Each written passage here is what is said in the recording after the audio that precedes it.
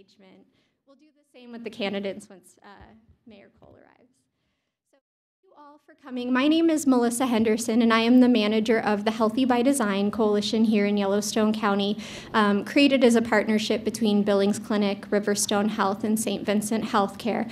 And I've had the privilege of working with Jed Barton from Living Independently for today and tomorrow, and Christy Drake of Billings TrailNet to organize this Walkability and Accessibility Forum. Hello. Um, we are just so excited to have the opportunity to have this dialogue with our candidates for city leadership. Um, this isn't about us endorsing any one idea or candidate, but really bringing this issue to the forefront. So thank you all for coming and showing your civic engagement and interest in this topic. And then to our candidates, thank you all for taking the time out of your busy schedules to make this a priority. So thank you. A few items of housekeeping. We move the trash can within view. So if you need the trash can, it's directly behind the, the audience now. Um, there are snacks, there's a sign in sheet. Please feel free to get up, mingle, that's okay. Just you know, the, the focus will be up here. For questions, so we've prepared questions for our candidates and we have sent them out in advance so they know what we're going to ask. Um, towards the end of the session, closer to two, we're going to stop asking the questions and we're going to open the floor to you all in hope of kind of keeping things brief and moving at a quick pace, we're going to ask that you write questions on little pieces of paper that Rahia is holding up in the back. So if you didn't grab one, you can grab one and maybe she can pass some out. Um, you're welcome to hold on to your question till the end, or if you, you're like, all right, I'm ready, you can put it in that green basket over here and we'll just pull them out and read them at the end. If we run out of time, we are going to collect the responses from our questions as well as yours from the candidates via email. So we'll ping that out. Our goal with this, and I don't know if we've told the candidates, is we are going to create a summary of what they've said about the issues so that we can all kind of see where they're landing on the themes as we go to that ballot box. Um, let's see. Is there anything else? This is being recorded live by Community 7 Television, so thank you to them. It's on Facebook Live, and then it'll be um, streamed later as well. We have one more panel next week, so that'll be exciting as well. Um, and now we're going to kick it off with the questions. So, some rules here. The three of us are going to alternate who is asking the question, and we're also going to alternate who gets to answer it first. So, you guys are not only on your toes for the responses, but remembering who goes when.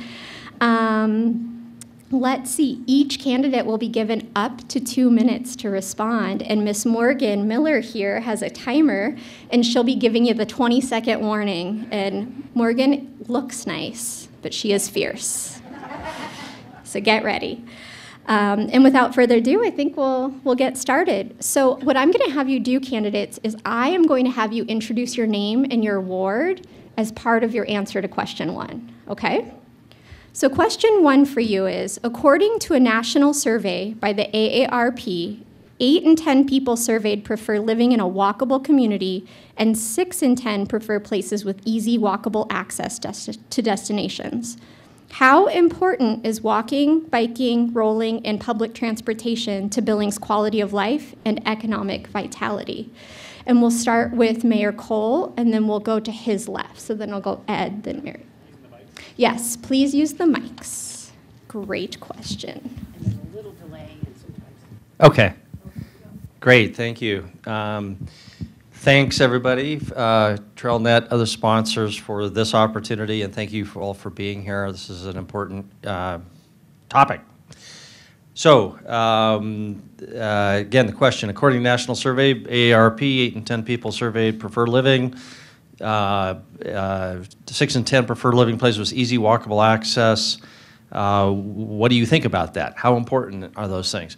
It's sort of strange that that should be a question, right? Because what should be controversial about having a place that you could, uh, a city where you can walk around? But it is, um, because it nothing is free and uh, we're in a world of uh, ha having to allocate resources. But um, for me, um, I think what we've seen, I, I was on the planning board uh, 15 years ago, and I remember uh, getting into gentle struggles with developers who did not want a trail anywhere near them because it would bring crime. And who's going to maintain it? And et cetera, et cetera. And the the reality is that we've passed those issues long ago. And now many developers are saying, well, what do I have to do to make sure I get this trail uh, along my development? So Billings has come a long ways, and it's because uh, of two things. One is uh, just people re- recognize the uh, the function, the value, the need of uh, a walkable, uh, bikeable community, getting kids to school, uh, it, this is, these are resources that cut across all age groups. Everybody um, uh, appreciates it. Everybody understands better the uh, uh, equities involved.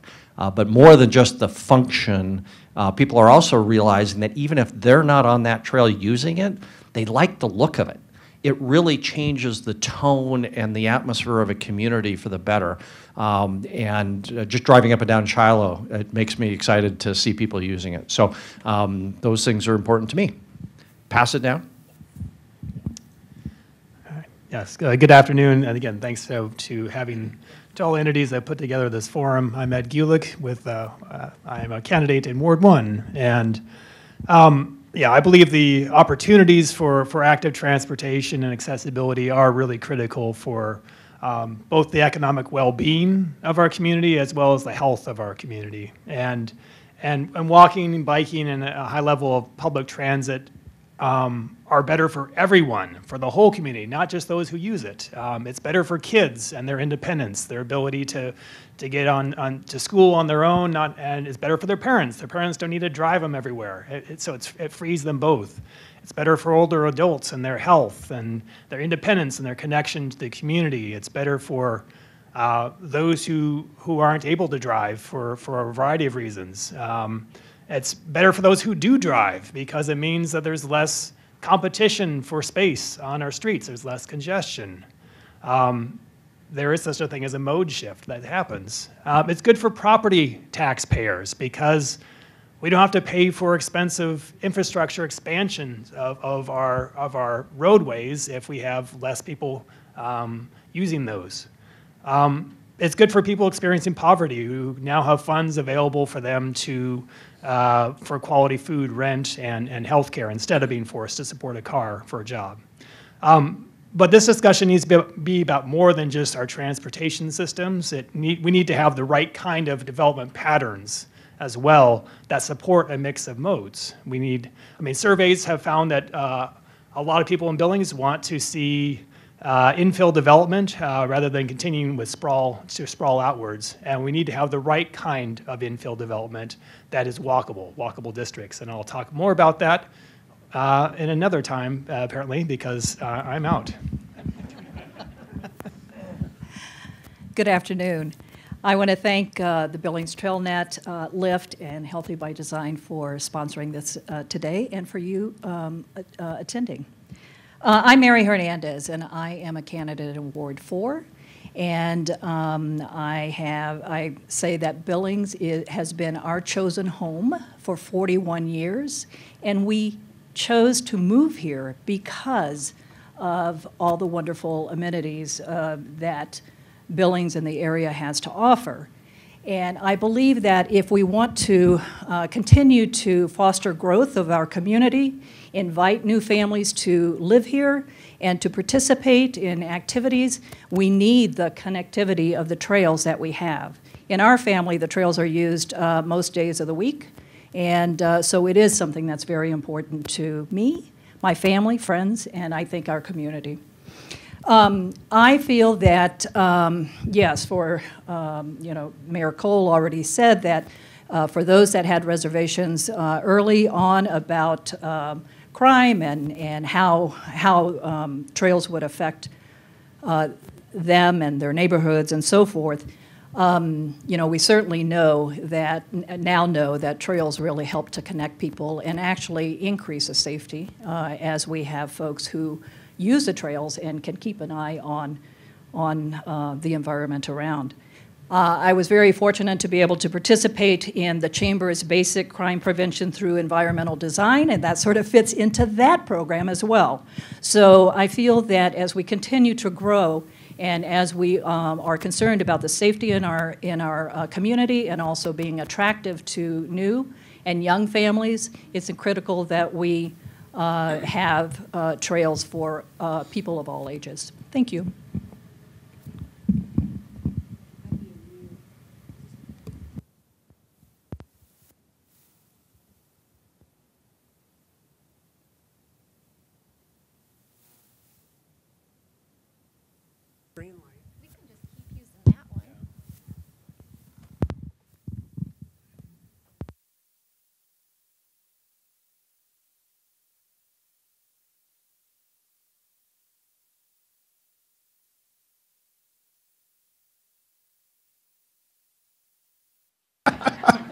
All right, I think I'm on now. Thank you. All right, I'm uh, Tim Warburton. I am a candidate in Ward 4. And uh, glad to be here, and I'm glad that this topic is the first topic that uh, us as candidates get to talk about, because I believe it's pretty important. Um, I think the question uh, kind of answers itself when you want to know about um, how important is it? Eight out of 10 people prefer walkability and, trails and parks in their community. And so uh, I agree with the eight and 10. Um, I wonder where the other two are. Um, but I, I think about, when I think about trails and, and how important it is to us, I think about uh, my neighborhood specifically uh, in Copper Ridge. It's filled with trails that connect us to our neighboring subdivision. Um, and it goes from top to bottom. And so it's always full of people. It's always full of kids riding their bikes, uh, people walking, people running, and of course their dogs. So um, I think about even today when I came down here, and, and I I frequently drive down Rimrock Road, and there isn't many times you can drive down Rimrock Road and not see somebody uh, using it uh, in a bike uh, to recreate or walk um, or out there. So today on the way down here, I, I tried to count um, in between singing songs with my kids, and I, I counted at least 10 people out there, you know, uh, early morning, Friday, um, using the, the infrastructure that we have there. So obviously it's important, people prefer it, uh, and people use it. So I think um, we need to be good stewards of, of that and uh, do everything we can to make sure uh, the city and the people that live here can use those things to, to improve their quality of life. Thanks. Hi there. My name is Dennis Ulvestad, uh, representing uh, Ward 5. I have been here for many years, many, many years.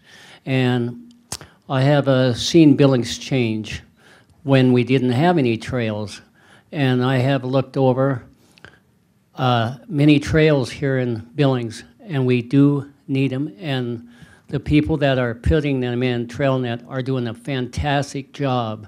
I think we have a little bit to go to get the complete loop, but to uh, ride the trails is gives you a different perspective, and it gives you a great perspective when you're looking at it from a different perspective from your car than you are your bike. And what's good about these trails, when you're riding your bike, it kind of integrates with, uh, you know, the Billings uh, Met bus, you know, putting your bus, bike on the bus, and it ties right in. And we do have a very good chance here in Billings to complete our trails, and I have been on them, and especially the trail coming across the rims and across uh, up there at the park. And what people say when they come here, they say, well, what's in it for me? And we show them, uh, we have one of the best trails in the state of Montana. We have one of the most beautiful cities here tying in, and I just wanted to uh, let you know that trails is a new quality of life for people because it will change your quality of life. Thank you. Hi, my name is Tom Rupsis. I'm running in uh, Ward 5. Once again, I'd like to thank uh, TrailNet and, and LIFTT and Healthy by Design for putting on today's forum. Um, personally, to me, walkability is very important to our quality of life. My family lives uh, just off the Shiloh Trail in Ward 5, uh, and we use that trail almost daily.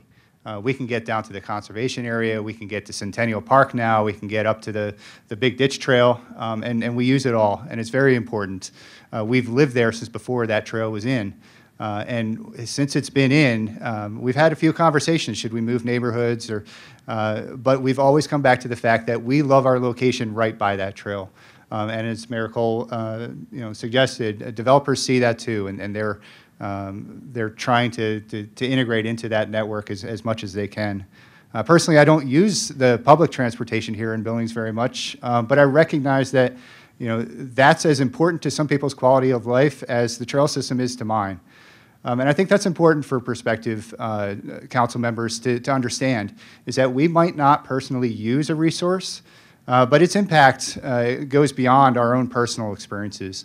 Uh, we need to recognize that and, and support uh, a, a community that um, represents the, the, the diverse uh, needs and, uh, uh, and wants uh, that people have today. Um, people's expectations are changing, and we need to keep up with that. Um, our economic future depends on it. If we can't adapt and, and grow with our population, we've got an aging population, uh, people will just continue to move away. And we need to attract people here. We need to attract our kids to come back after college. Uh, and, you know, that's just very important to our economic future. So, you know, quality of life and economic vitality, I think, are, are you know, directly linked. Uh, anything we can do to improve that is, is a good step, in my opinion.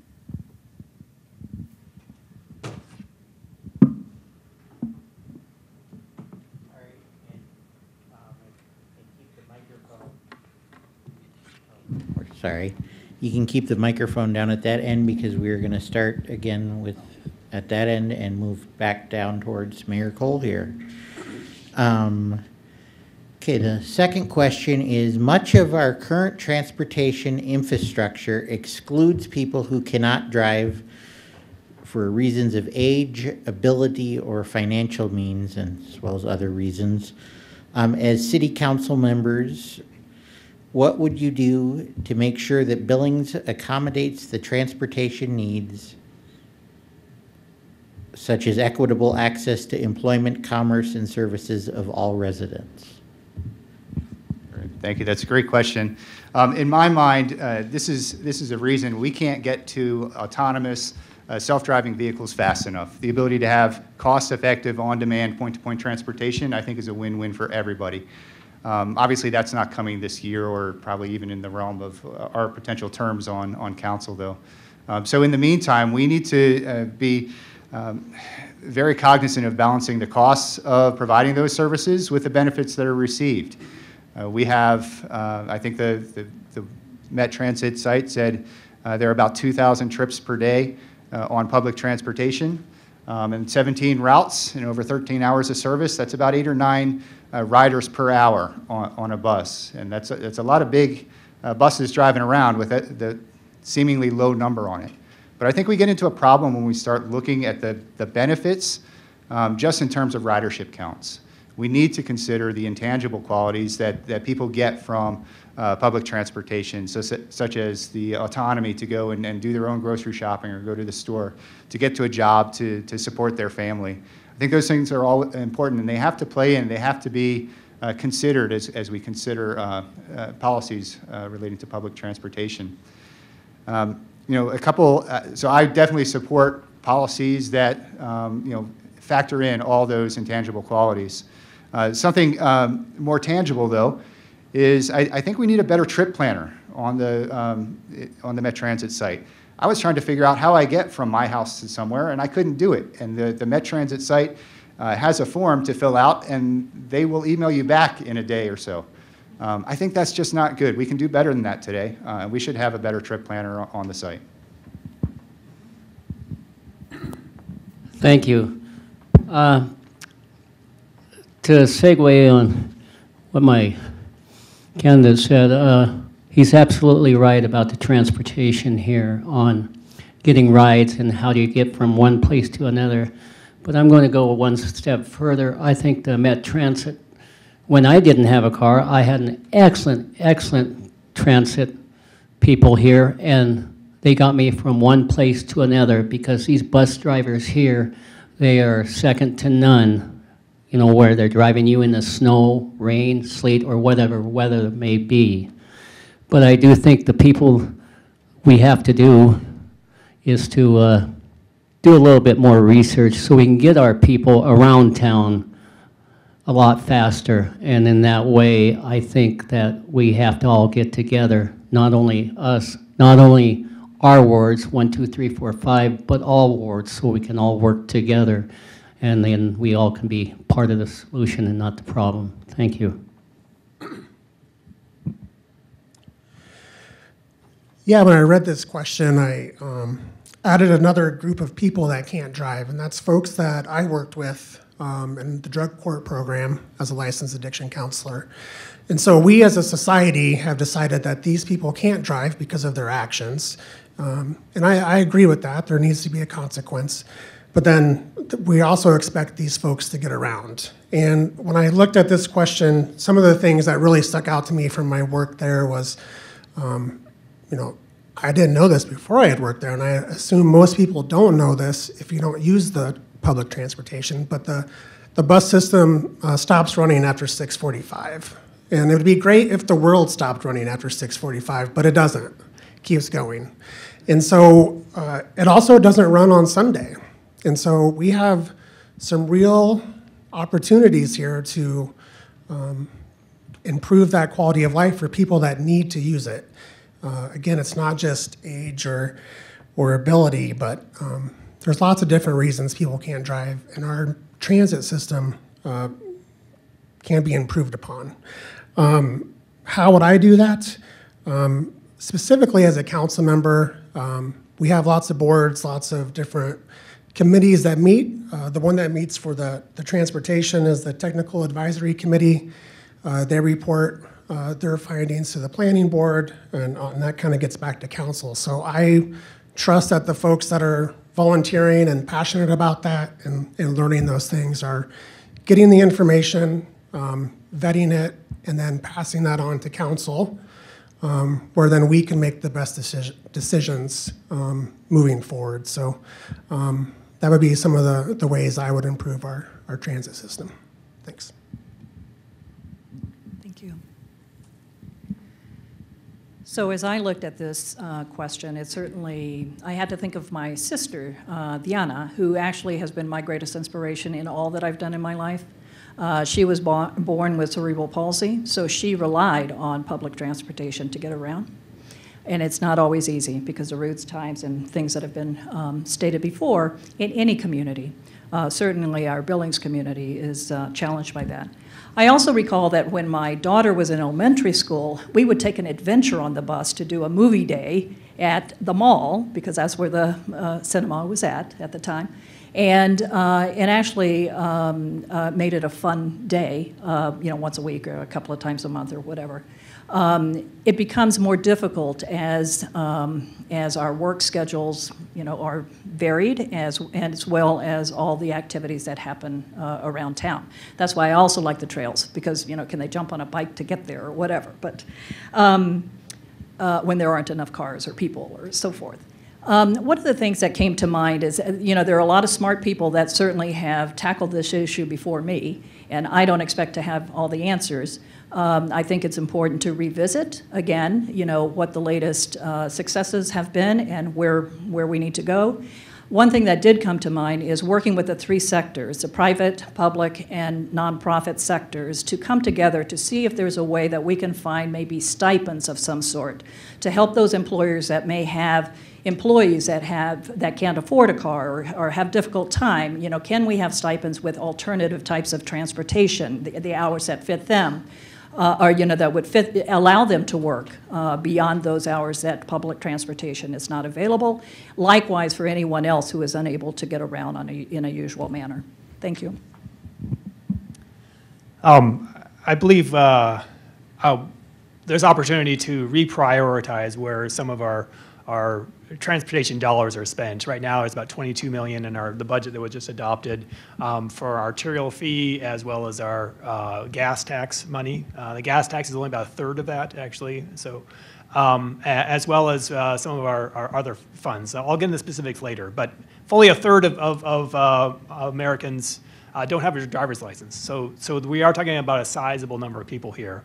And, and a transportation that serves only one mode, uh, vehicular, is actually the most expensive inefficient system available. A multimodal is just a lot more cost efficient and delivers better human and, and environmental health, uh, better social equity, and better uh, community interaction than a, uh, singly focused on, on automotive transit. Um, so why does our community continually treat walking and bicycling infrastructure as a, an optional premium that adds cost to our transportation system? It's because we see it as being additional. It's an add-on. We see it as that we were going to build out all the car infrastructure in any case, uh, and now this is something on in addition. But what happens when you when you actually have a, a good functioning multimodal system is you are offsetting some of the needs of, of that congestion um, and, and, so there's opportunities to um, reduce, avoid uh, costs and, and, the most expensive types of infrastructure. Um, so, um, and, and when we combine good development practices with investments uh, in, in, walking and biking, uh, and uh, well, another thing I'll add is also that it's very costly to provide good quality bus service when you have just low density development. So if we're really serious about addressing this, we need to be thinking about how we develop in the future. Uh, and we can, uh, I have ideas, and I'll get the specifics in another time. uh, we do have a problem. Uh, we've come a long ways uh, in addressing all these uh, issues with ADA ramps, increasing the number of trails, making sure developers put in sidewalks. Uh, all those things didn't exist even uh, in some cases 10, 20 years ago. So we've come a long ways, but we still have a long ways to go. I remember uh, driving down Grand frequently and seeing this gentleman who travels that in a motorized uh, scooter. Um, which generally works, except there's not sidewalks all the way along Grand when you get far enough west. And come winter, he's just out in the uh, street uh, a woman on the wheel uh, or uh, with a dual um, stroller trying to go up Rimrock Road on the north side, you know, five foot sidewalk with uh, mailboxes uh, in the middle. And she has to go out into Rimrock uh, to, to get through. Um, speaking to Association for the Montana Association for the Blind a couple weeks ago, and asked him, you know, what can we do to improve accessibility here? And a simple request that the, the volume of the signal that signals to the blind be increased because on a loud street they couldn't hear it. So what do we do? Well, we start with uh, a lot of attention on expanding the system, which is costly, which is fine, but we can at least start with enforcing what we've got now, uh, which is our existing uh, uh complete streets policy, safe routes to school, um, uh, making sure that trails, uh, wide sidewalks go in on arterials, um, and uh, uh, making sure that there's adequate width uh, in those sidewalks. So um, we're making progress, but there's a lot more to do. Just a quick uh, item on public transit. Um, it is very expensive, but uh, so many of those costs are already built into the system. If we can increase ridership, uh, that comes at almost no additional cost, but it is a way to generate more revenue. We, uh, we, we now have a good app system where you can actually know where the, where the bus is rather than guessing, uh, but we can improve the technology in the transit system at relatively low cost. Thank you. That'll go back to Ed Gulick. Thank you. All right. So this is a pretty simple question, um, so you can expand on the things that you weren't able to say earlier. But specifically, some would say that no one uses trails or bike lanes and that they cost too much money to build and maintain. As a council member, what would you say to that? Well, for about 40 years, we invested almost exclusively in infrastructure uh, designed for, for vehicles. And so we kind of squeezed out the other modes, and that part of that's the way we developed as well. We, and, and so it's not a big surprise that, hey, there aren't um, a lot of people, uh, as many people biking and walking in a place like Billings as, as there are in some other communities that, that did have that infrastructure. Um, but uh, to the credit of, of the city of Billings, um, you know, for the last 20 years, we have been uh, definitely putting much bigger uh, uh, investments in, in, uh, in, in, trails, also working with Billings TrailNet, um, and, and also uh, in making complete streets. Um, thank you, Healthy by Design. Um, but it's a big, it's like trying, trying to turn a big battleship around. And um, Um, and I want to jump on the bridge and turn that wheel a lot harder, I guess, is, is I, I'm really interested in doing. Um, I'm a small business owner. My lifeblood is uh, my ability to get uh, highly educated talent to work for me. Um, and they are looking for places where they can live a very healthy lifestyle, where they can connect to this amazing place. Um, I think it's, um, you know, speaking as a business owner, I don't think we can afford not to invest in those kinds of trails. That is absolutely a piece of our economic development strategy, and I think we, we don't invest in it at our peril. Uh, I know at my peril as a business owner. So, thank you.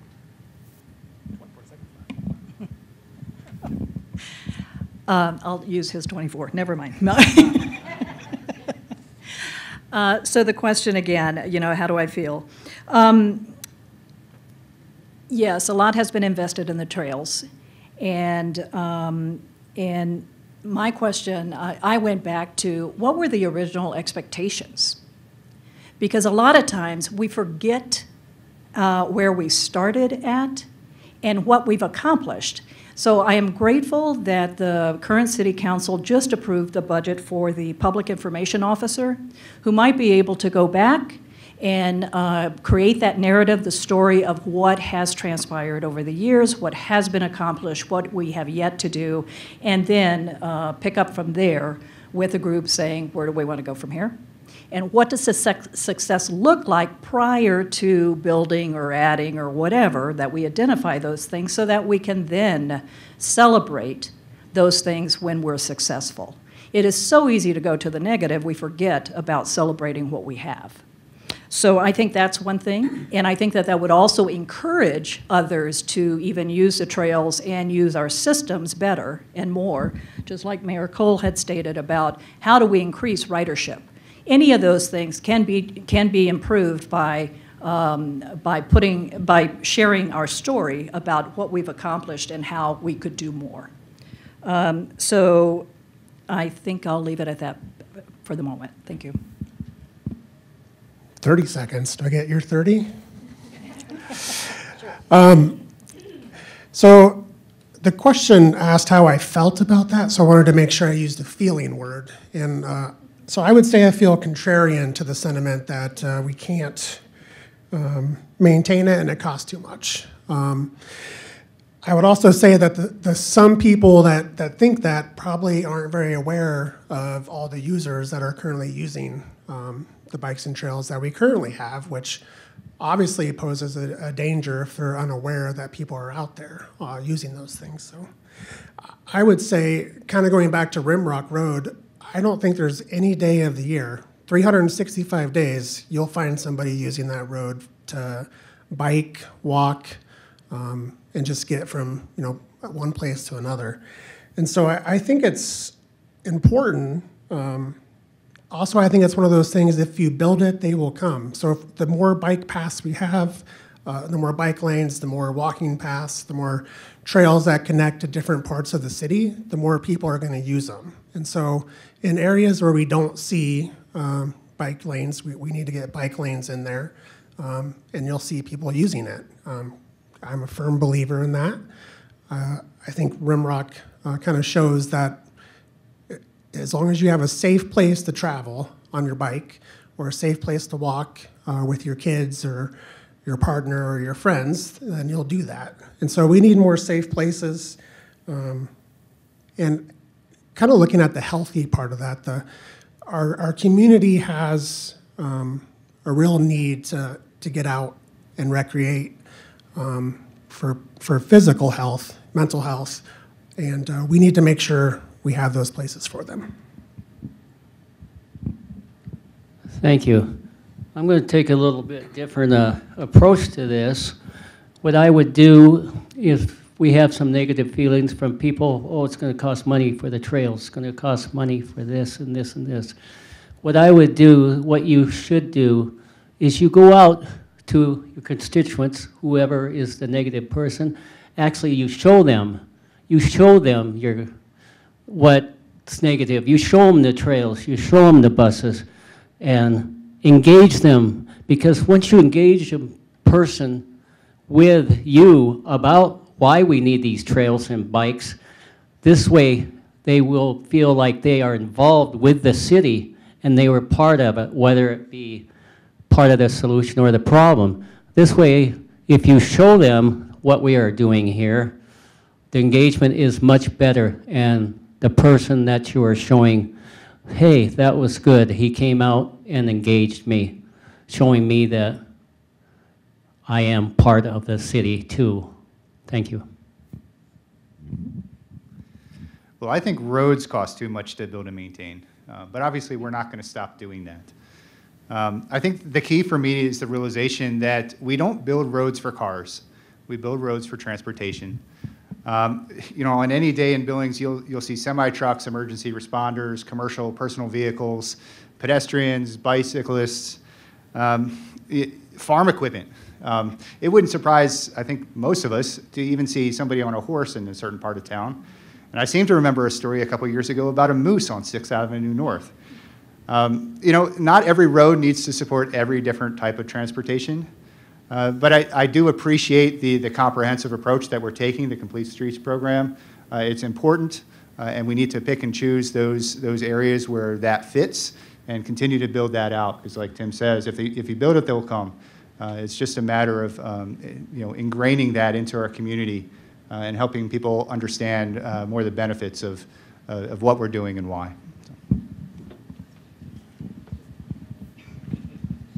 And I guess I'd uh, restructure the sentence to say, uh, what do you think about that rather than what do you feel about that, just because it's dangerous to base public policy based on feelings. But I think if you just think about it, uh, the reality is that uh, people are using our trails more and more all the time. As we become used to it, uh, just as Tim said, we're going to see more of it, especially after COVID 19. Um, we really understand the value of that. But um, what's the data?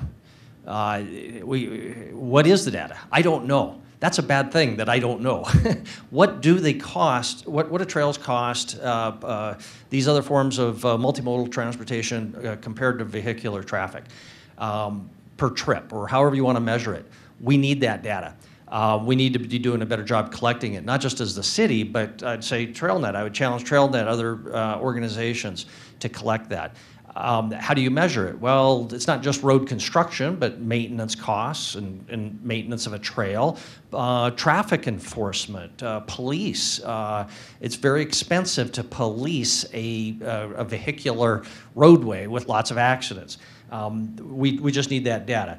I don't know what the results are.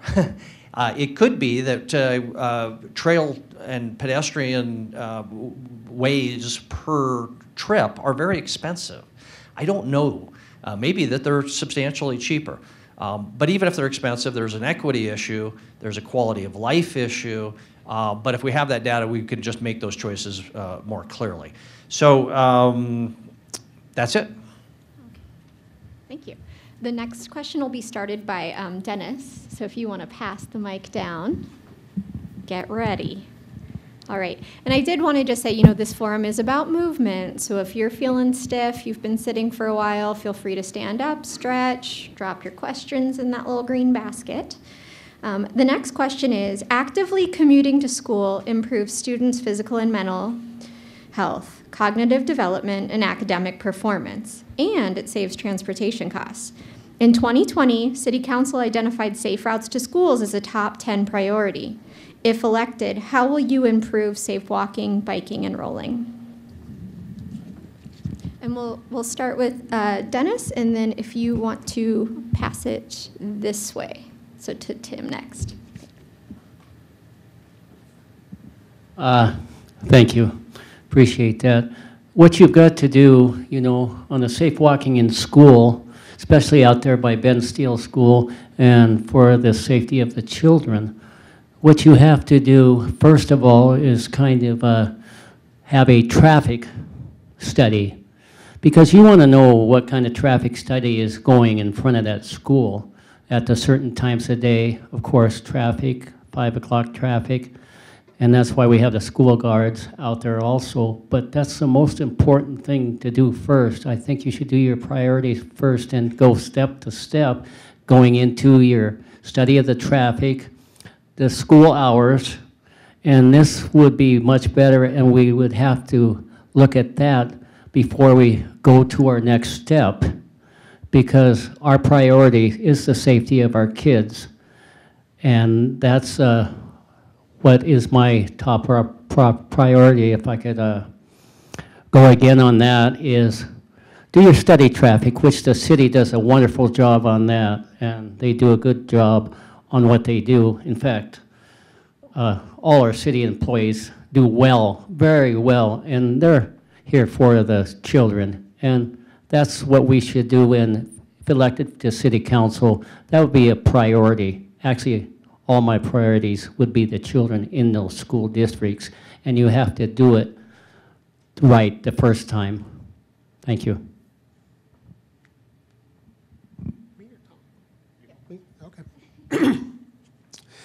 Um, Yeah, I would uh, continue on with the council priority. I- I'm glad it's in the top 10. It should be in the top three probably for safe routes to school.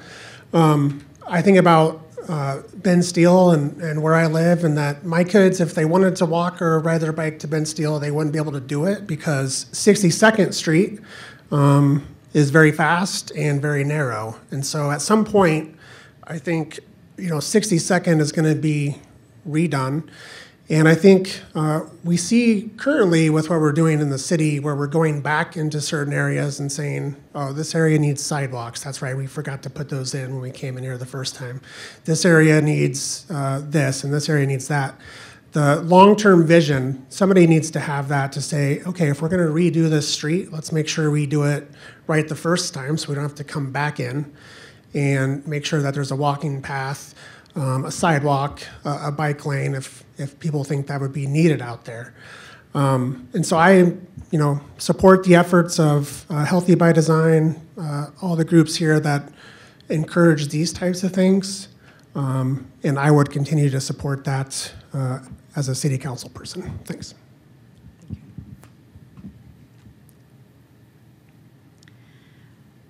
I too would support uh, continuing, um, continuing supporting safe routes and also growing them, um, enhancing them where, where needed.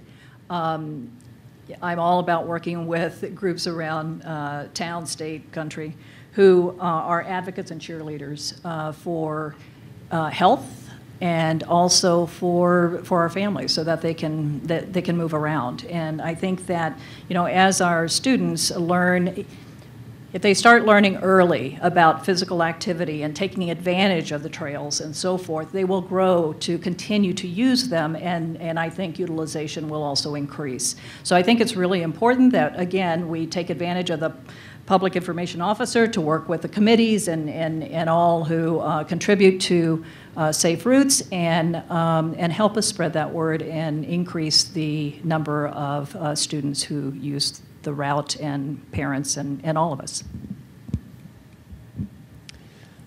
Um, I know, I mean, at the beginning, it just talks about how the uh, active community into school improves students' physical mental health, cognitive development, and academic performance.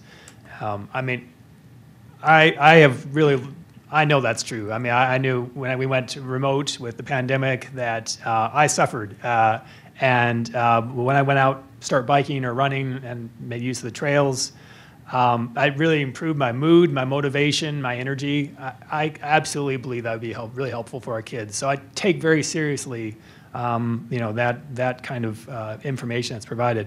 You know, city council, what would we do? Uh, if I were in city council, I mean, we're working at a higher policy level. I'm not going to be going out there and actually doing studies or things like that. But I'm going to be, um, I want to be, I'm support, very supportive of, of those efforts for, for safe routes to school, um, and, and would provide the, the adequate funding. And getting more specifically into things that I, um, what I would have said with the second question is, is I think we need, when I talk about reprioritizing um, where some of our transportation money goes, um, I would designate um, more than we are currently spending for walking and, and bicycling infrastructure. Um, between our arterial fees and our gas tax money, um, we have $22 million allocated this year.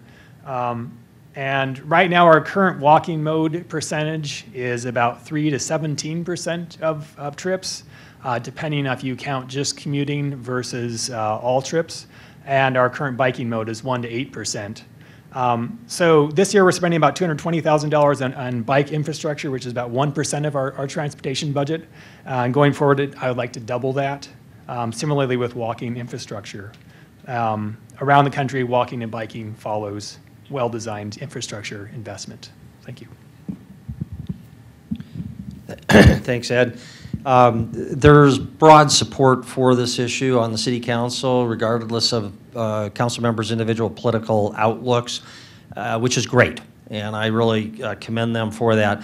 What would I do? Well, it's for- difficult for one person to uh, change the direction of that big battleship. Um, but uh, uh, trying to enforce what we've already got in place is really critical. More specifically, I would try to do what I did this morning, uh, for example, which in- involves just a lot of conversation with people. For example, um, I uh, picked up the phone and I, I, I learned about a major development between Fifth Avenue and Sixth Avenue in, in the EBURD that's likely to occur. Um, I called the uh, developer's representative to quiz them a little bit about whether they are focused on the development and taking advantage of the Fifth Avenue Trail Corridor. As you probably know, there's no Fifth Avenue, but there is a trail corridor that goes down there that could be turned into an amazing bike and pedestrian and maybe even vehicular uh, access way to connect Metra with downtown. Yes, they're very focused on that. I asked him if he could put together some pretty pictures to create momentum in the community for uh, the, the, the trail development. He, they, he said, yeah, they hadn't really thought about that, but he committed to doing that. Um, similarly, on Sixth Avenue, because they butt up against that, uh, we need a way to get people safely from the heights into the, the downtown or EBURD area by bike and by pedestrian. Uh, Sixth Avenue has carries tremendous uh, vehicular traffic, but uh, it's very, very difficult for bikers and pedestrians. Um, and he agreed to uh, definitely focus on that. Uh, then I got a call from a uh, uh, property owner on the rims who's interested in trail development up there and asked for my help to try to make that happen. Monday night, um, The council was uh, addressing future development on Alkali Creek Road, and, you know, I asked the developer, are you committed to a trail along that arterial? And he said yes. So a lot of us just having those indiv- individual conversations and uh, pressing forward.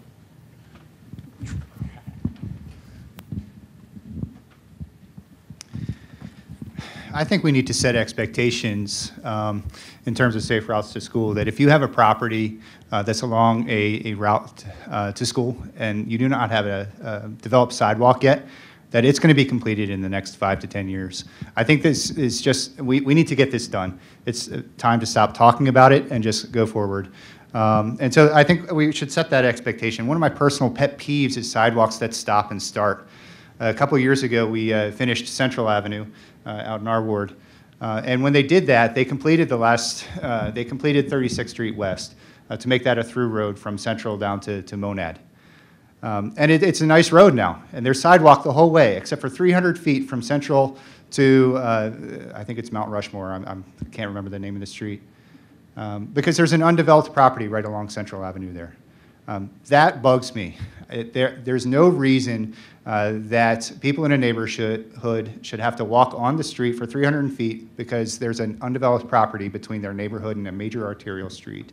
That sidewalk should have been completed, and the, the cost can be deferred until the developer actually develops that lot. Just put it in an account somewhere and say this is a future IOU. Uh, but I think we need to do that all around the city and just get these projects done. Yeah. So, thank you. I've been on that sidewalk, or not on that sidewalk.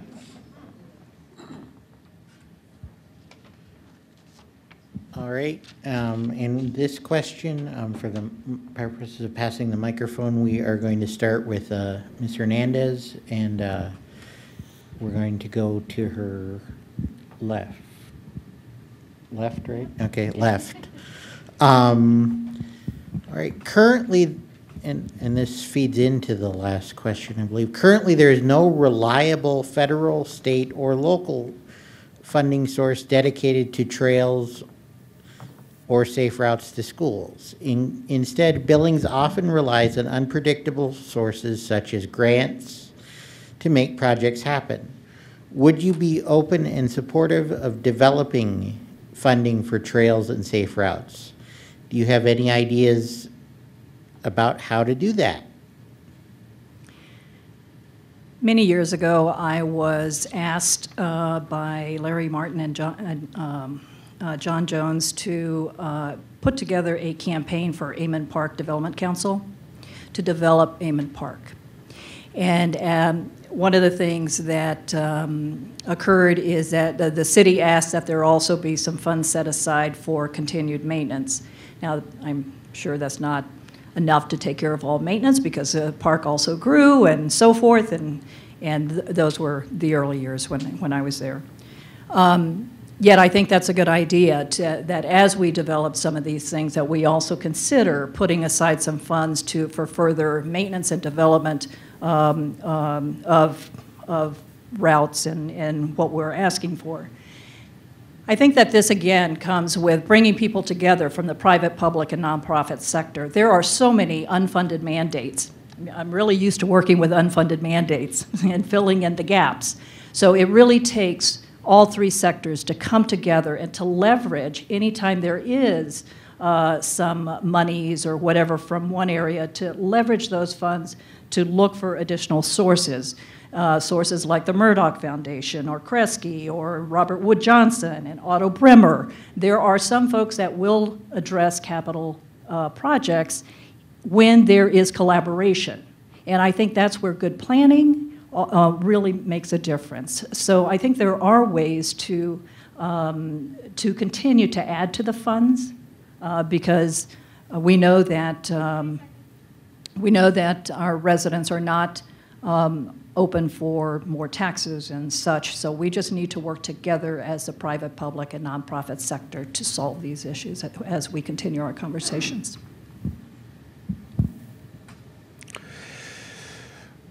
Yeah, I think this is an issue um, that the Parks Board's been trying to tackle, at least for my four years on it. Uh, when I uh, recently served for four years, uh, this was the main thing we talked about was how do we get funding, a, consistent um, funding source for these things.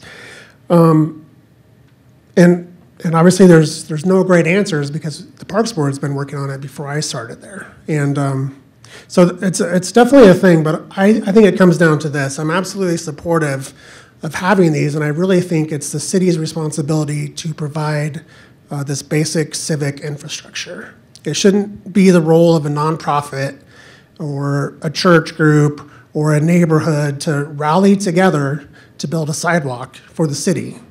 Uh, we pay taxes here. Our tax money should go towards basic civic infrastructure. That's safe routes to schools, trails, parks. Um, I think the extra amenities, you know, if, if we want to go above and beyond, then that's where those groups come in, and that collaboration really makes a difference. But I believe it's the role of the city to provide basic civic infrastructure. Thank you. I'd have to think about this a little bit. I do believe that we should all work together. So I do believe we should have public, private, you know, funding, also federal, you know, for our trails, our parks. I think it's very, very important that we all work together because this way we could get the people back together, collaboration. And it's very, very important to make all these work together so we can move forward and so we can move, move our city forward. Like, once again, I believe that we should use all the funding we can get. Thank you. So safe routes to school and other um, you know, pedestrian transportation, it breaks down into kind of three uh, categories. Uh, the sidewalks, as we kind of talked about, I appreciated this year council allocated a little more money to do uh, sidewalk development uh, than in previous years. I think that was a little, uh, little too little, uh, not quite enough. Um, there are multi-use paths that go along, you know, streets, major arterials in the city's right-of-way. Uh, we've got a complete streets program now that, that makes sure that as those uh, roads are updated, that that is uh, considered and, and those um, resources are put in. Um, so I like that, and I, I would continue both of those. Uh, but as far as the dedicated trails go, uh, we don't have a source for that. Um, this past year, or actually this year, the Parks Board put a, a a, a plan in front of council uh, to develop uh, our undeveloped parks, and uh, we included several trails in that uh, um, plan, the Stagecoach Trail and the Canyon Creek Trail, to complete off our, our marathon loop. They fall squarely in that dedicated trails category. Uh, Council, obviously, this year is, is uh, decided to, to focus on public safety, and I support that.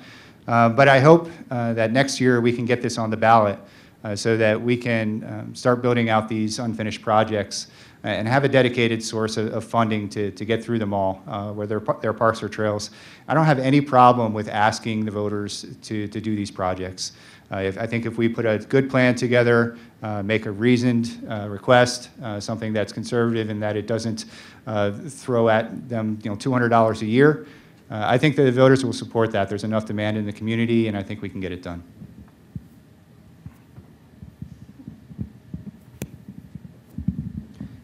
What Tom said. Um, uh, I don't see any alternative, so yes, do I support that? Yes. Um, But after public safety. Uh, That is our top priority now. Um, I don't see any way to get meaningful change here without the voters approving it to tax themselves. Uh, That means going out for a bond or mill levy, probably with parks, because, uh, yeah, it's hard to distinguish between trails and parks, both politically and as a practical matter. I do think, back to Mary's point, um, although I agree with Tim, that these are public resources that have to be predominantly funded by the public that benefits.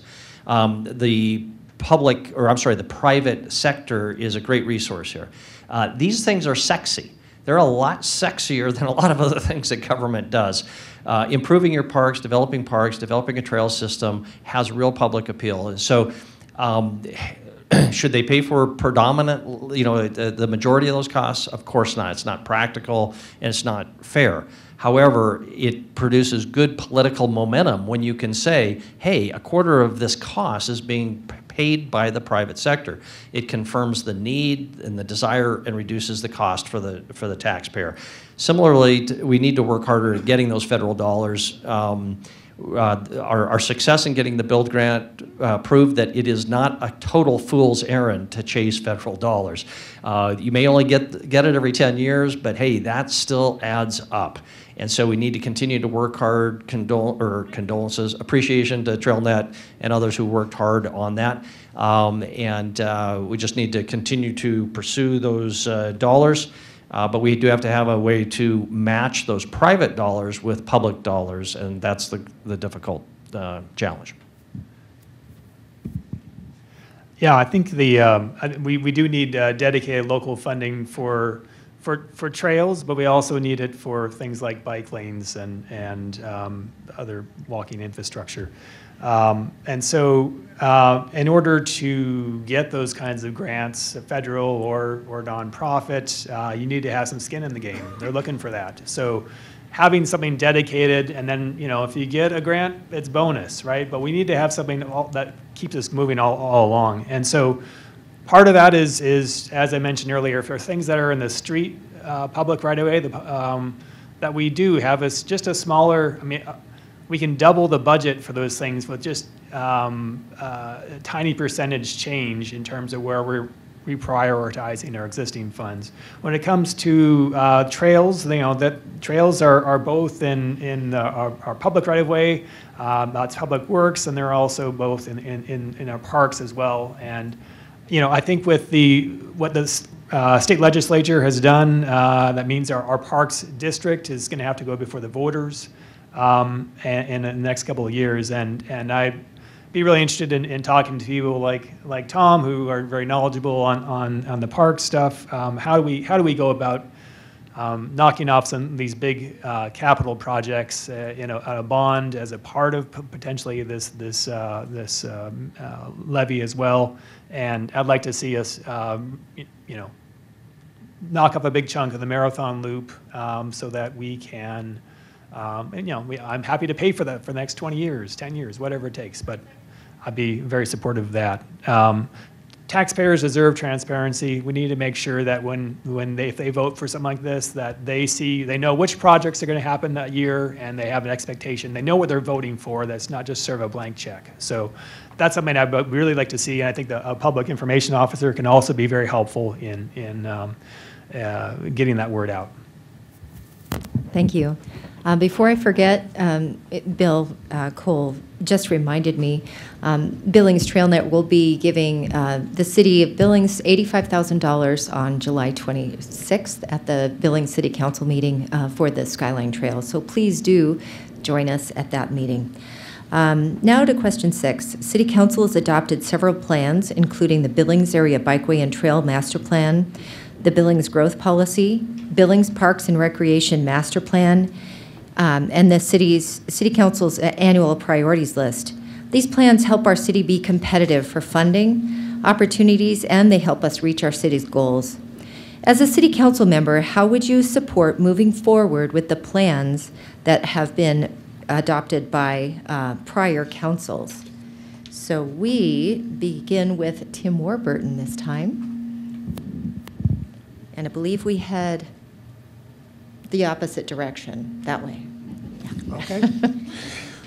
You're the boss. I'll, I'll pass it whatever way you would like.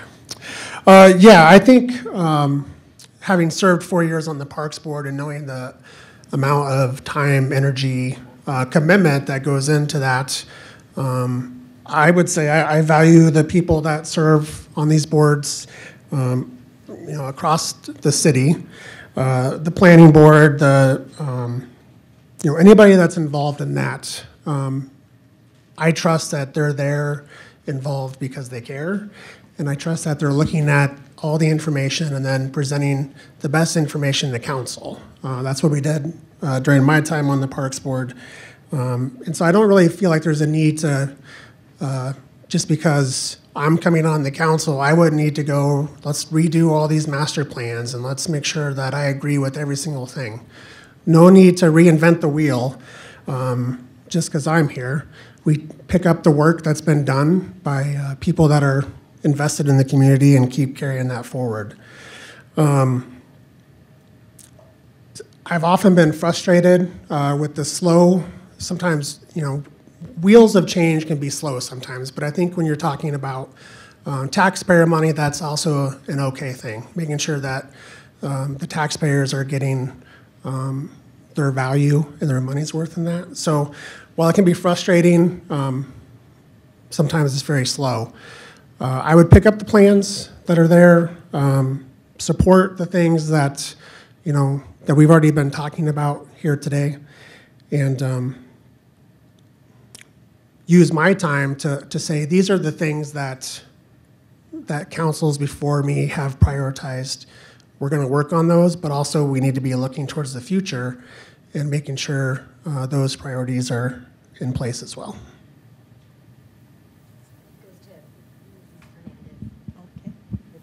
Okay. Um, I agree with Tim that uh, it's not about reinventing the wheel because there are a lot of smart people, as I've stated before, that have served before us. Um, It's really, so I often step into uh, projects that are, are in the middle. You know, I mean, it's, it's beyond starting. Uh, It's always good to uh, reevaluate, to go in, assess, evaluate where the project is or where the plans are or whatever we're interested in. What's been done before and, and where are we today and, you know, where do we pick up, where do we go from here? Uh, I think it's really important that uh, the measures to that, whatever we plan to do, that there are measures that are attached to that so we know when we've accomplished something, whether they be small things or large things.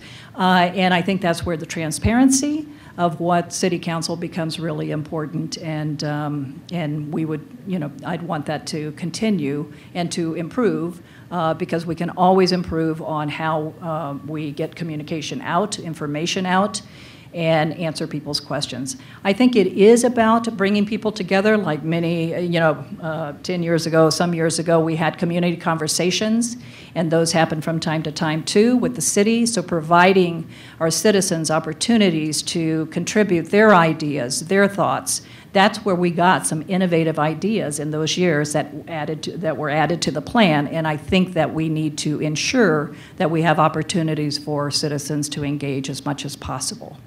Um, and I just think there's a lot of work to be done as we continue. I tend to research a lot whenever we, whatever issues come up, and there's always a multitude of issues at, at hand at any given time. So um, the work continues. Um, These are all good plans. They all had a, a a good process for, for getting input from a variety of stakeholders, from the public. Um, I, you know, I, I, some of the, some of them are getting a little older now. Maybe there may be a few little adjustments. Time has changed, you know, time is, some of these things may be a little outdated and, and some changes, adjustments might need to be made, but, um, I absolutely support them and, and, um, yeah, they, as we said, the, we don't need to reinvent the wheel. Um, and uh, I, I really respect the work that's gone into those thing- kinds of things. I'm a, I'm a design professional. Um, I know the process that we go through to, to put these things, kinds of things together. And um, there's a lot of research uh, that goes into that. You know, I think in terms of, of uh, sort of riffing in off of what Mary was talking about, and maybe she's riffing off of me as well, in terms of, of the sort of transparency. I think I would really like to see our city at a place where um, every year, like this, these are the these are the priorities for the Parks Department in, in particular. Um, these are the projects we're going to implement, um, and you know, there's going to be a, uh, some report at the end of the year. You know, maybe some things happened. You know, uh, pandemic happened, right? Some things aren't going to happen uh, because of uh, things. People, voters understand, that uh, residents understand, taxpayers understand, um, but just having a, a sense that there's a there's a plan that's being implemented. I think that's really needed. Um, I think I think it would you know, in the absence of good information, um, you just you you breed distrust and apathy, and, and, that's just not a good uh, ingredient for moving our community forward. So, um, yeah. Thank you. Uh, So how would I move forward with these various plans? Uh, I would focus on just enforcing what's already there. Uh, Some of the things that have come out of those plans over the years have been major advancements, like uh, requiring boulevard walks instead of curb walks. These are the- the the minutia that you get into when you're in the city council. Boulevard walk is, has that separation between the road and the sidewalk where, where um, uh, that gives you some distance from cars, um, but most importantly, it gives a place to put the snow, so that uh, in the winter, you can actually use that sidewalk. Uh, Requiring construction of sidewalks, we didn't always used to do that. Uh, We didn't also always used to provide subsidies on corners, which the city does now. So anyway, enforce what's already there. That's the starting point. But also trying to help the public and groups like TrailNet and other organizations broaden the base of public support so that uh, more people can communicate with city staff, with uh, city council members, county commissioners, to get the message across of what's important to them. Um, One thing that uh, I would recommend uh, very specifically is reading these things. The problem is you can't, it, it's very difficult. City Council, just this week, you know, a couple days ago, we got a stack, 500 pages. That's our, our, our packet for Monday. Um, 13 long items uh, on the council. You just can't go through it all. So if TrailNet, other organizations can take uh, from these plans the, the, the pages that are the most significant from their perspective and consolidate them into a booklet and, and get that out and get uh, people to read that uh, uh, Cliff Notes version. Um, I think that would be very, very helpful. Having public meetings to make sure that uh, uh, those key points are communicated each year, especially for new council members, uh, because otherwise it's just a very daunting task. Going down there.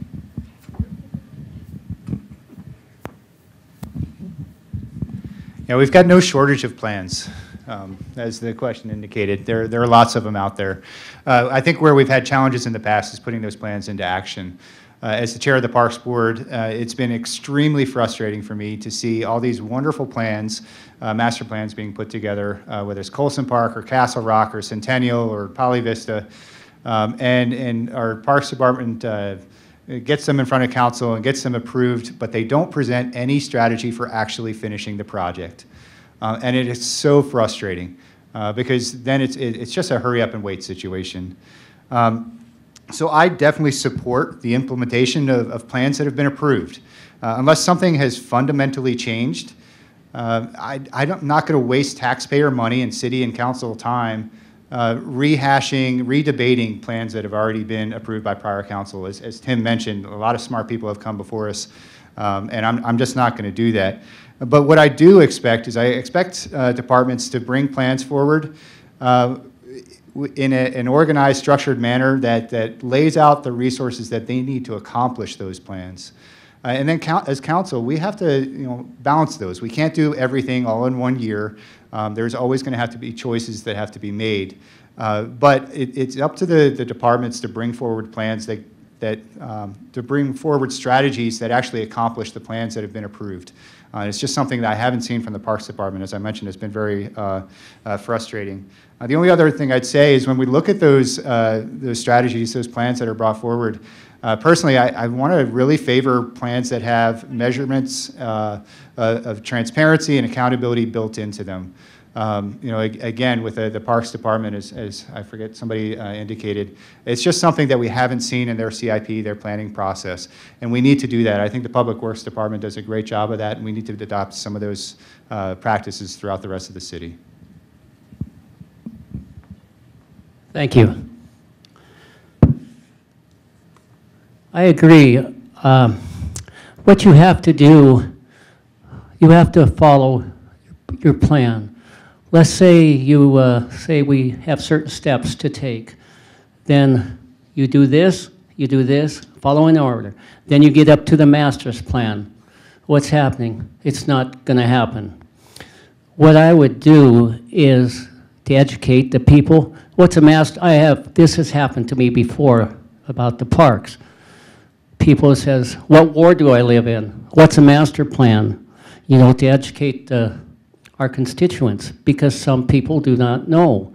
But once you do know, you actually know where, what steps each person is taking. But once you get the master plan, it's not working, it should be started over again. You know, if it's not working, it's not working. But you could probably tweak it, the master plan also. You could tweak it, but you'd have to educate the people. But once again, like the parts, as my uh, opponent says, you know, you have to do these steps, and they have to be all together, and they do have to work. Of course, you could take a hypothetical and say, okay, we have a Parks Department, here's what we're gonna do in our little box, you know. Well, that's not working, let's just go over to another box and start all over again. That's not gonna work. Once again, three, three, working all together. They have to work all together. And one thing on council I would do is educate the public, as I have stated before, on what council can do and what they cannot do, because they are limited. Thank you. Thank you. Okay, so we are, oh, you haven't gone yet? Yeah, he was first, yeah. Um, I was like, wait a minute. Okay, so um, what we've decided to do is at this time, we're going to shift gears a little bit. So this is going to be your last call for putting your questions in this lovely green basket that Rukia is sharing. Um, as you are maybe scribbling down those last questions, getting them over to Rahia, we're going to throw one more at this group, but you only get 60 seconds to answer. So get ready. Um, everyone has had a chance to start a question, right? So we'll go full circle, and uh, Mayor Cole, you'll start us off, and then you'll pass it down. Um, progress for our community depends on working with other, other governmental jurisdictions, including county commissioners, state legislatures. How would you promote a collaborative relationship with the county or your legislatures? Thank you. Uh, And I'll apologize in advance, I've got a 2 o'clock meeting, so if I jump up and have to run off, it, um, it's not what the last person said that that somehow offended me. Um, uh, The county is uh, important in this mix, uh, not so much on these issues, but on many other issues. And uh, I think uh, there was a book, you know, everything I, I really needed to know I learned in kindergarten. It's really true. Uh, We're still a, a small town of relationships, and there's just three county commissioners. So the most important thing I think that uh, anybody can do is maintain a good uh, personal relationship, or professional relationship uh, with the commissioners and with county staff. So um, uh, you can do that by just attending their meetings, uh, meeting with them informally, um, uh, not going out of your way to uh, uh, slam them publicly if you disagree with them. Uh, we had a good relationship on the build grant. It, it, it wasn't easy. I mean, we had to make some compromises there. Oh, I'm sorry. So um, go back to kindergarten. That's the answer. I also add uh, MDT uh, staff Montana Department of Transportation staff also uh, important player in all this too.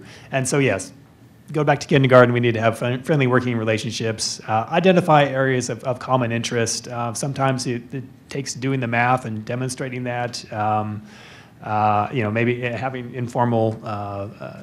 Settings for meeting them with a, a small group of uh, council members, so we don't we have a quorum. Um, and uh, you know, I guess if ever required, uh, if we ever need a stick, just uh, firmly remind um, the commissioners, for instance, where you know that the majority of their constituents live within city limits as well. But um, I don't think that's going to get you really, really anywhere, probably. So I think we'll just stick with kindergarten.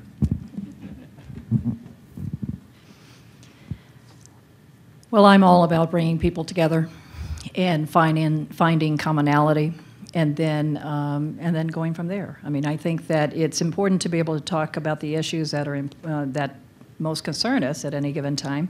And I believe that, um, you know, it's important to be able to share, um, share opinions and be comfortable with uh, disagreeing, uh, people who disagree with us, you know, being, um, you know, accepting that and, and being gracious with one another.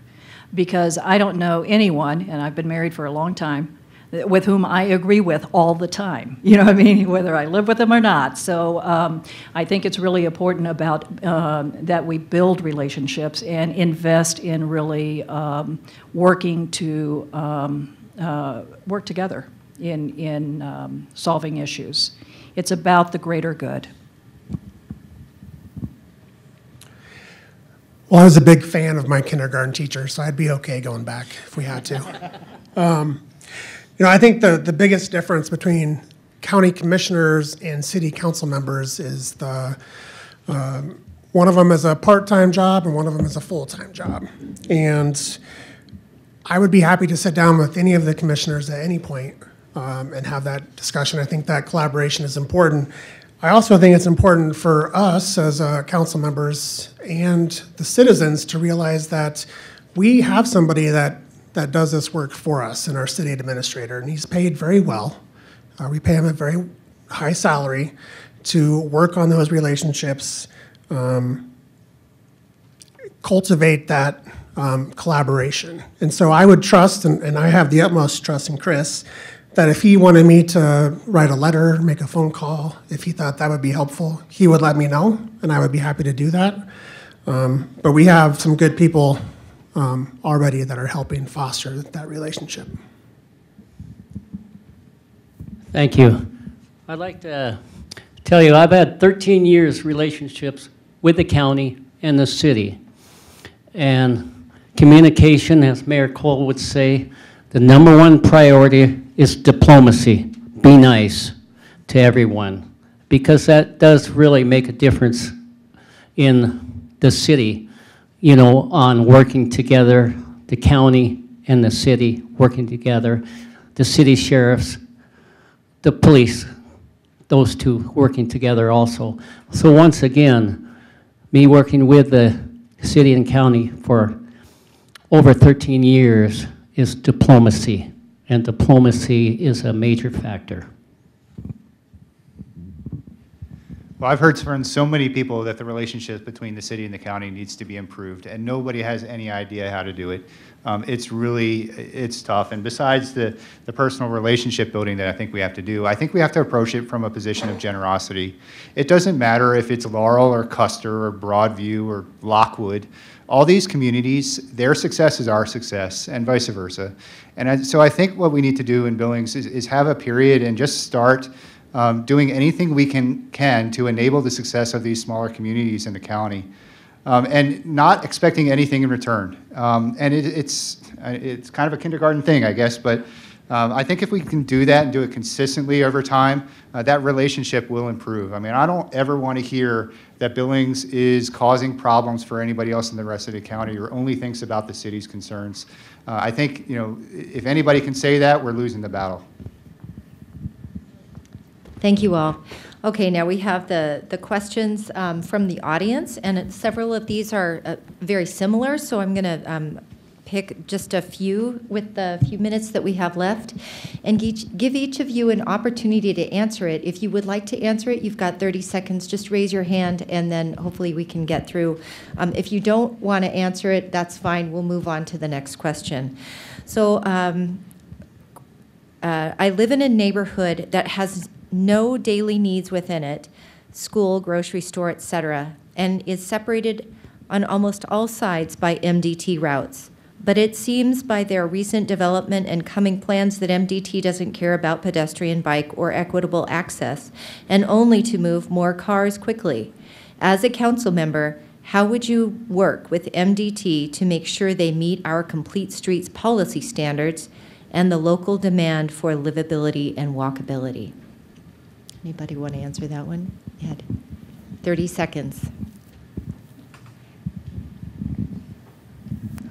I mean, I think it does require a, a city response. I don't know, as an individual council member, that I would have much influence or, or a, a lot of influence at least. But I, I think it is, um, I, I think we don't do enough. Uh, I, I think there's opportunity to do more in terms of, of, of really bringing, the MDT is, is, uh, has these route through our community. And uh, this needs to work for our community. And uh, it's, and they need to be, uh, there is, uh, wi- uh, yeah, so. Sorry. Anybody else want to answer that one? Yep. Okay, Mary. I would say that this is where uh, having community conversations are crucial, uh, particularly when uh, it is not meeting one of the expectations of the plans for the city.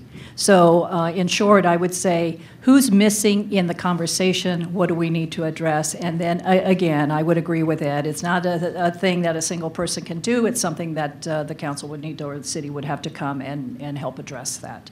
But it's uh, who's missing at the table to make sure that we can fulfill the overall plan. Thank you. Anybody else want to answer?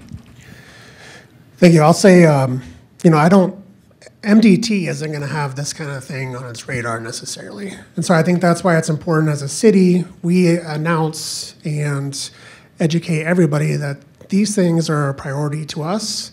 And so when you have your plan coming through, uh, these are our priorities, and this plan doesn't quite um, rise up to the standard that we'd like to see here. So what do we got to do about that? But we have to be clear as a community what our standards are and what our priorities for uh, are as far as that goes. Thank you. Anyone else? No? Okay. Uh, There are two that are fairly similar. Um, One is, some of the keys to walkability are mixed use and density, because then things are closer together.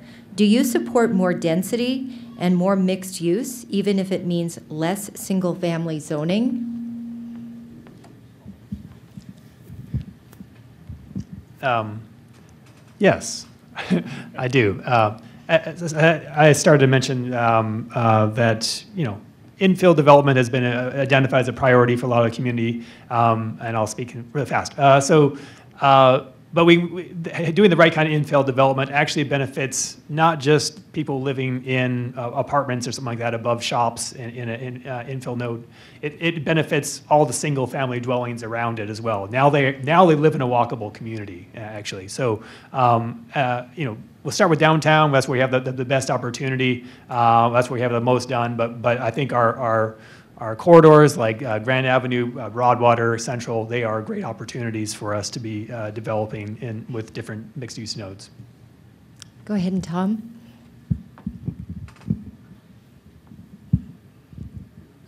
Yeah, I don't think we necessarily ha- have to achieve that through less single-family um, density. Uh, You know, we can approach single families a little bit differently. My neighborhood is relatively small lots, uh, and, and that's just fine. I have less lawn to mow, and that's great.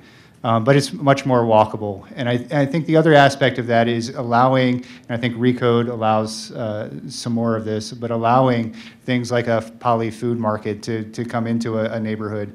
Uh, Whereas before, we might have uh, not allowed those things. You know, if we can put those closer to our, our homes, uh, it's better. Anyone else? Yeah. I'll have to agree with Tom because uh, that is very good, you know, putting our grocery stores, stores in our communities. But I was on the zoning commission for uh, five years, and I can understand the multifamilies and the more brush and everything like that because once you have this uh, zoning and you go out and look at it, you do make a decision, and it does work. Thank you. Anyone else? I think it would be important for us to think about uh, multi, um, uh, family housing, because I, one thing that is, I think, isn't the, well, okay. We also need to talk, uh, to think about affordable uh, housing, so that we have affordable housing for young families and folks that we're trying to invite into the community as well. And all of that, along with uh, the topic of today, is crucial to, uh, to have what families need to have a good life. Dan Brooks, do you, are you covering my back? I will, okay. Okay, you know, um, density used to be a four-letter word, it's not anymore. People kind of get it, that's a huge advance. We see great success with the Avenue C apartments, with uh, Shiloh Commons, um, uh, and, and, having those success stories are really, really valuable. Um, but we do need to find incentives for infill, especially for the redevelopment in Midtown. I'm thinking large parcels, be it the Elks uh, property, the, the Shrine, um, the, the old Gibsons. Uh, these are large parcels, but what is the incentive? We really don't have a good mechanism. Okay, we have time for one more question, as I've been told. We have three more that, or four more that have not been asked, so those will be um, online. Yes? We'll email them. So, last question. Many of you have referenced trails, trails near where you live. And it seems they have been embraced in new development, but myself and many people I know live in and around the city where we feel like we all live on islands with minimal bike ped infrastructure that feels safe, comfortable, and convenient. How would you prioritize this? Ed. Um, so this year we will be implementing our first um, neighborhood bikeway, I guess is what I'm going to call it. It's also known as a, a bicycle boulevard. We're, we're, still coming up with a name for it, but this is a, uh, uh, something that can connect us to other uh, trails on the more perimeter of the community. Um, so it's a good way of, of, of making a, a, sort of safe uh, priority for, for bikes uh, on, on residential streets. Um, also, I think uh, city should be looking at, uh, and has been in conversation with the uh, BBWA canal um, in, in, in, exchange for perhaps uh, the work we're doing with them to make sure that our neighborhoods aren't flooded. Um, uh, maybe there's a, that's a two-way street, that you need to give us access to that right-of-way for some trails so we can actually have trails in the middle of the city as well.